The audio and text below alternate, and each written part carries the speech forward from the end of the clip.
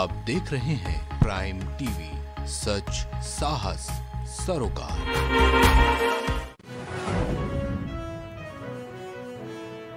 जगदलपुर में डॉक्टरों ने किया विरोध प्रदर्शन, सिर पर पट्टी बांधकर जताया विरोध।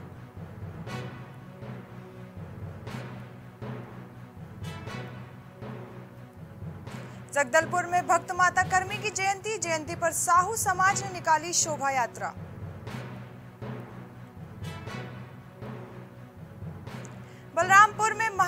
महाविद्यालय के प्रिंसिपल की दिखी बड़ी लापरवाही, मूक बधिर को परीक्षा देने से किया वंचित। बलरामपुर में पुलिस अधीक्षक ने गूगल को लिखा पत्र पत्र लिखकर जताई नाराज़गी।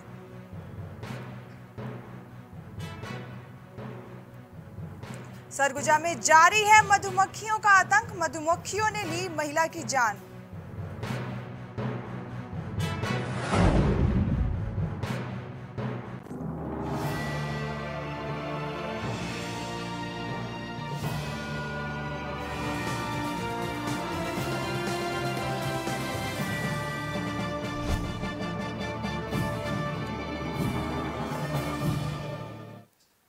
नमस्कार, मैं उषा भार्गव। स्वागत है आपका प्राइम छत्तीसगढ़ में। जगदलपुर के सूरजपुर ज़िले में होली के दिन हुए डॉक्टर अनीश कुमार पर हमले के विरोध में डॉक्टरों ने सिर पर पट्टी बांधकर विरोध प्रदर्शन किया। साथ ही डॉक्टरों के लिए सुरक्षा व्यवस्था की मांग भी की। वहीं विरोध प्रदर्शन कर रहे डॉक्टरों का कहना है कि लगातार डॉक्टरों पर हमला हो रहा है। कहीं मेडिकल कॉलेज, जिला प्रशासन जिला अस्पताल के अलावा और जगहों पर डॉक्टरों के ऊपर जानलेवा हमला किया जा रहा है, जिसमें डॉक्टर पूरी तरह से सुरक्षित नहीं है। जो मारपीट हो रहा है, उस मारपीट को प्रोटेस्ट करने के लिए, उस मारपीट के अगेंस्ट में आज हम चाहते हैं कि डॉक्टर सुरक्षित नहीं है, इसलिए आज हमको यहाँ पर मजबूरन हमको आकर किस तरह से नारेबाजी करना पड़ रहा है। जिस तरह से डॉक्टर अनिस के साथ सूरजपुर में घटना घटी, वो बहुत ही निंदनीय थी। शासन की जितने भी नियम कानून हैं, सारे तोड़े गए और हम चाहते हैं कि डॉक्टरों को जो आप एक तरह से भगवान का दर्जा देते हैं, आज उसको जब बुरी तरह से पीटा जाता है तो आपकी वो भावना कहाँ चली जाती है? एक डॉक्टर होली के दिन अपने घर परिवार को छोड़ के, खुशी के माहौल को छोड़ करके, लोगों की सेवा में जब इलाज कर रहा है, वहाँ पर जा करके कुछ लोगों के द्वारा उनको मारपीट किया जाता है। उसके बावजूद भी शासन आज आँख बंद करके बैठी है। जिसके लिए आज पूरे छत्तीसगढ़ के सारे मेडिकल कॉलेज, सारे इंस्टीट्यूट हर पीएचसी, सीएचसी में, जिला अस्पताल में जो प्रोटेस्ट किया जा रहा है, उसी के तारतम्य में आज जगदलपुर में हम इस प्रोटेस्ट को अंजाम हम सब मेडिकल कॉलेज की तरफ़ से और सारी फीमेल डॉक्टर्स को रिप्रेजेंट करते हुए सब ये मैसेज देना चाहते हैं कि लगातार डॉक्टर्स के साथ में जो ऐसी घटनाएँ हो रही हैं और फीमेल डॉक्टर्स के साथ में भी अब ऐसी घटनाएँ हो रही हैं तो इसका मतलब ये है कि डॉक्टर्स काम करते हुए बिल्कुल भी सेफ़ नहीं है और हम चाहते हैं इन सब घटनाओं के लिए एफआईआर हो और जो भी इनके आरोपी हैं, जो भी इन ऐसे क्राइम्स को कमिट कर रहे हैं, उन लोगों के अगेंस्ट स्ट्रिक्ट से स्ट्रिक्ट कार्रवाई बलरामपुर के राजपुर शासकीय महाविद्यालय में प्रिंसिपल बीके गर्ग अपने कारनामों से एक बार फिर सुर्खियों में हैं। बता दें कि महाविद्यालय के प्रिंसिपल एक मूक बधिर बीकॉम प्रथम वर्ष के छात्र को परीक्षा देने से मना कर दिया महाविद्यालय के प्रचार की उदासीनता और लापरवाही के चलते बीकॉम प्रथम वर्ष के छात्र जीतन दास जो बोलने और सुनने में असमर्थ हैं, परीक्षा फॉर्म जमा नहीं कर पाए और परीक्षा से वंचित रह गए। परीक्षा में नहीं बैठ पाने की शिकायत को लेकर विकलांग छात्र ने बलरामपुर कलेक्टर सहित राजपुर एसडीएम से गुहार लगाई है, लेकिन इनकी ओर से कोई पहल अभी तक नहीं हुई, जिससे छात्र और उसका परिवार बेहद निराश और मायूस है। महाविद्यालय के जो प्रिंसिपल है, ये पहले भी ऐसे कई लापरवाहियाँ कर चुके हैं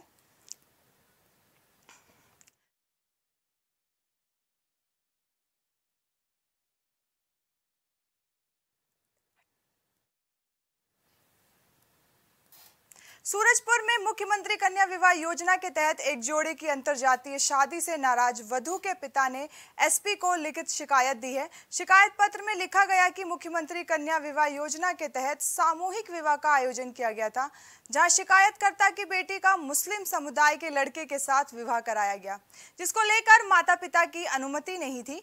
ऐसे में बेटी की मुस्लिम लड़के से हुई शादी के चलते पूरा आदिवासी समुदाय नाराज़ है। लड़की जो है भगा के लड़की मनमना शादी कर लिए सब चोरी चोरी।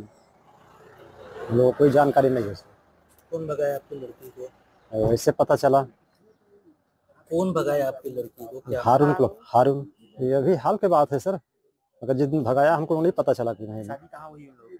पटना में सर बता रहा उसमें आखिरी में मालूम हुआ कि एक पचासी में से एक मुस्लिम समाज का भी शादी संपन्न हुआ जिसमें कि एक आदिवासी युवती युवती के साथ मुसलमान का शादी हुआ ये मालूम मुझे, वहीं पर मालूम हुआ।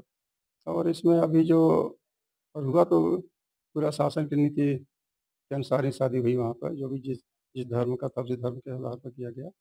लेकिन अभी जो कई बातें जो भारतीय जनता पार्टी की ओर से उठाई जा रही है कि वहाँ पर माननीय विधायक जी भी थे वहाँ पर करके। लेकिन इसमें अगर शादी शासन की नीतियों के अनुसार हुई उसको रोका भी नहीं जा सकता। और जो भी ये लोग आज उठा रहे हैं, केवल भारतीय जनता पार्टी एक दूसरे की छवि को बिगाड़ने के लिए कर रहे हैं, बाकी इसका हम लोग ऐसे यहाँ पे इसलिए आए थे कि सूरजपुर ज़िले में ग्राम पंचायत पटना में मुख्यमंत्री कन्या विवाह योजना के तहत पचासी जोड़ा का शादी संपन्न हुआ, जिसमें हम लोग का गोंड जाति के एक लड़की है बसंती नाम की, उनका शादी फारूक खान के साथ हुआ। इसलिए हम लोग इस शादी से आपत्तिजनक करते हैं कि सरकार इस टाइप का अंतर जाति विवाह ना करे और हम लोग का गौर समाज को गुमराह करके इनका शादी कराया गया। और इसमें हमारे क्षेत्र के प्रेमनगर विधानसभा क्षेत्र के विधायक भी इसमें आए थे उनको आशीर्वाद देने के लिए। मैं चाहता हूँ कि विधायक जी भी गौड़ समाज के हैं ऐसा उनको इस शादी समारोह में आना नहीं चाहिए। अगर आए तो ये हमारे समाज के लिए दुख का विषय है। अभी पुलिस अधीक्षक महोदय के समक्ष उपस्थित और कुछ लोगों के द्वारा आवेदन प्रस्तुत किया गया है। पुलिस अधीक्षक महोदय के द्वारा संबंधित विभाग से जाँच अपराध कार्रवाई करने के निर्देश दिए हैं। जाँच पर जो भी तथ्य आएँगे, उस पर वैधानिक कार्रवाई की जाएगी। दिनांक तेरह मार्च 2023 को रामानुज नगर में जो विवाह संपन्न हुआ था, उसमें एक जोड़े का निकाह पढ़ा गया था और उसमें जो वर वधु थे, उनके द्वारा जो अपने आवेदन पत्र में इच्छा व्यक्त की गई थी, वो जिस विधि या रीति से विवाह संपन्न कराना चाहते थे, उसके अनुरूप विवाह संपन्न कराया गया था और उसके संबंध में परिवार के दोनों पक्षों की सहमति पत्र भी उसमें संलग्न थी। साथ ही साथ दोनों जोड़े बालिक भी हैं और शासन के जो नियमानुसार सभी नियमों का पालन करते हुए उनका विवाह संपन्न कराया बलरामपुर के ज़िले राजपुर में साहू समाज ने माँ कर्मा देवी की जयंती पर जिला स्तरीय शोभा यात्रा निकाली और एकजुटता का परिचय देते हुए आने वाले समय में रूढ़ीवादी कुरीतियों को दूर करने और समाज को संगठित करने का संदेश दिया और शोभा यात्रा की शुरुआत की, जिसमें सैकड़ों की संख्या में समाज के लोग शामिल हुए।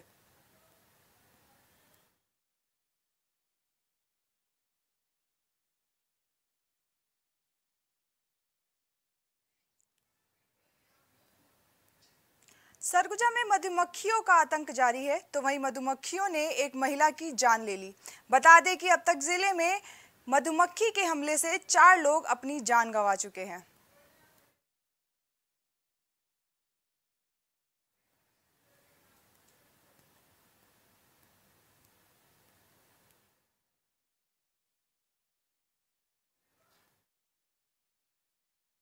बता दें आपको कि अब तक चार लोगों की जान ले चुके हैं। ये बहुत मधुमक्खियों की आतंक से पूरा जिला आतंक में है, परेशान है। आपको बता दें, अब तक चार लोगों की जान जा चुकी है मधुमक्खी के हमले से। अभी हाल ही में एक महिला की भी जान चली गई। मधुमक्खी के हमले के चलते आपको बता दें, मधुमक्खियों ने महिला की जान ली।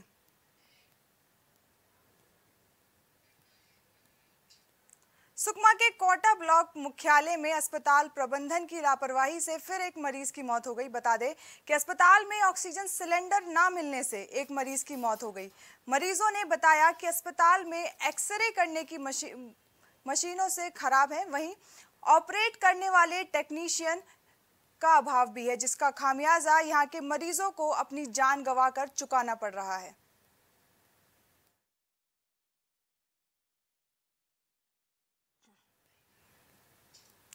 जगदलपुर के आड़ावाला में एक वाहन में अचानक आग लग गई, जिससे वहाँ के लोगों में हड़कंप मच गया।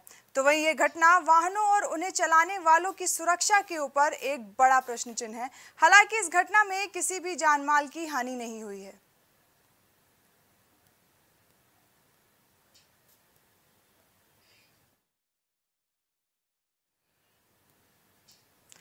दंतेवाड़ा में कई जगह पर ओले गिरे और कई जगहों पर बारिश का कहर दिखा। जिससे जनजीवन अस्त व्यस्त हो गया तो वहीं दंतेवाड़ा मार्ग बर्फ़ की सफ़ेद चादर ओढ़े दिखाई दिया। और जगदलपुर में भी लगातार बारिश से जनजीवन अस्त व्यस्त रहा और आवागमन में भारी तकलीफ़ से जनता परेशान रही। साथ ही फ़सलों को भी भारी नुकसान पहुँचा है।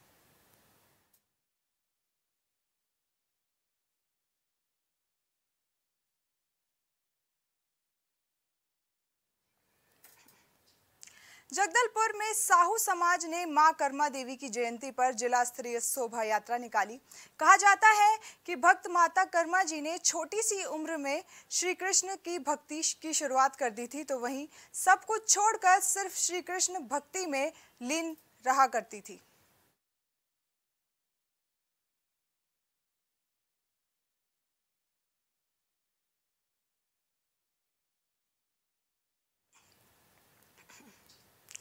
बलरामपुर में पुलिस अधीक्षक ने सख्त रुख दिखाते हुए गूगल को पत्र लिखा। आमजन के साथ लगातार हो रहे साइबर फ्रॉड की घटनाओं को रोकने के लिए पुलिस अधीक्षक ने एक बार फिर गूगल कंपनी को पत्र लिखा है। बता दें कि गूगल कंपनी को पहले भी पत्र लिखा गया था, जिसमें वांछित जानकारी और आवश्यक सहयोग पत्र ना करने, प्रदान ना करने पर पुलिस अधिकार अधीक्षक ने नारेबाजी ज़ाहिर की थी। नाराज़गी ज़ाहिर की थी, साथ ही स्पष्ट और साफ़ शब्दों में कड़ा पत्र लिखकर निर्देशित किया है कि वांछित रिस्पांस नहीं मिलने पर गूगल कंपनी को माननीय न्यायालय में उपस्थित किया जाएगा। गलत नंबर डालकर फ्रॉडस्टर्स द्वारा साइबर फ्रॉड किए जा रहे हैं, जिसमें लोग अपनी गाड़ी कमाई को खो रहे हैं। इसी को ध्यान में रखते हुए हमने पूर्व में भी गूगल इंडिया को और गूगल यूएस को लेटर लिखा था उनके नोडल ऑफिसर्स को भी, और उनसे जानकारी मांगी गई थी अलग अलग अपराधों के संबंध में कि फ्रॉडस्टर्स के बारे में जानकारी और इस तरह की घटनाओं की पुनरावृत्ति ना होने के लिए स्ट्रॉन्ग एक्शन लेने के लिए भी उनको लिखा गया था, लेकिन अभी तक कोई खास रिस्पॉन्स हम लोगों को नहीं मिला है। इसी तरह आईजी अंबिकापुर द्वारा भी गूगल ना सिर्फ़ गूगल को बल्कि एमएचए को भी लेटर लिखा गया था। इसी तारतम्य में आज दोबारा उनको एक चिट्ठी लिखी जा रही है और उन्हें बिल्कुल साफ़ स्पष्ट शब्दों में बताया जा रहा है कि अगर वो लोग सहयोग नहीं करेंगे और जानकारी नहीं देंगे तो कोर्ट के माध्यम से उनको भी समन किया जाएगा और उनकी टीम को बलरामपुर रामानुजगंज न्यायालय में पेश होने के लिए बुलाया जाएगा।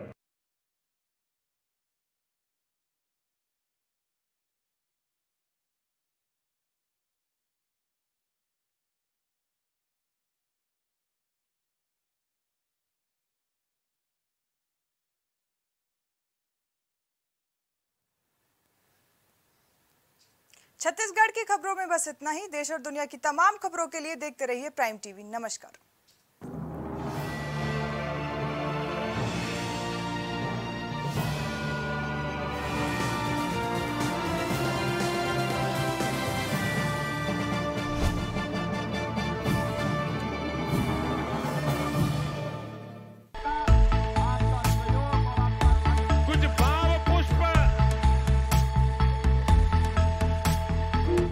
देख रहे हैं प्राइम टीवी सच साहस।